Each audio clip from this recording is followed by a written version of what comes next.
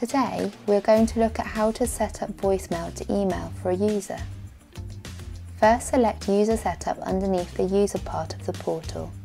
Tick the name of the user that you want to add the feature for and double click next to their name. This will open up the portal below. First of all, select the Modify button and ensure you have typed the user's email address into the email field here. Then scroll down and select Feature. First of all, you need to make sure that voicemail is set to use so that user has voicemail set up and enter the password which you can get from your system administrator into the password field. Then email notification, you have two options. You have text only and attached voice file.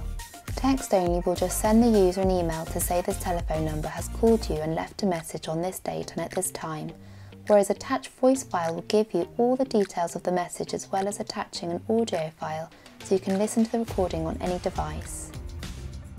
Next you can select skip or don't skip the date and time. Select skip as you don't need the date and time to play at the start of the message as you will have that information in the body of the email.